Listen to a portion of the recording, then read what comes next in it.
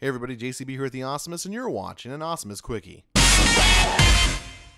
So odds are, if you're a Windows 10 user, you have come across this stupid yellow exclamation point this past week. Apparently Microsoft broke something recently because there have been a lot of people suffering from this problem.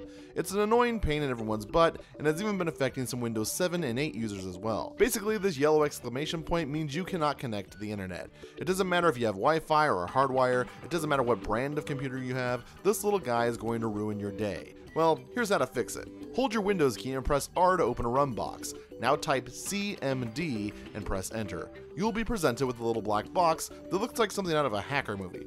This is a command prompt. It's what all computers looked like once upon a time, and this latest bug from Microsoft has given it a new life. Go ahead and type ipconfig into this box, then press the spacebar and type slash release. Make sure you have your slash right, and then press enter. This will release the current IP address your computer is trying to use to connect to the internet. Next, in that same black box, type ipconfig space slash renew, then press enter.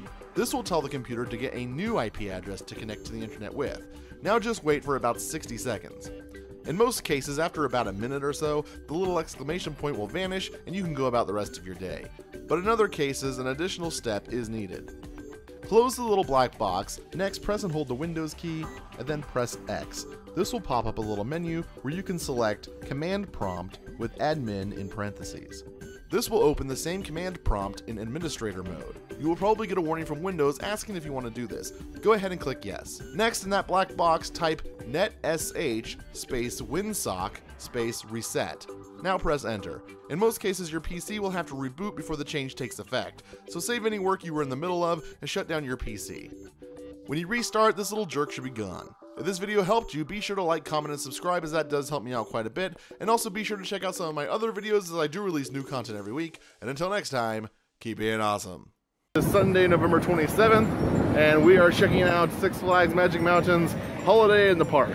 Holiday in the Park is Six Flags' retheming of Magic Mountain. Unfortunately for a large portion of the park, Holiday in the Park simply means there are Christmas wreaths and lights everywhere. Hey look, a dreidel.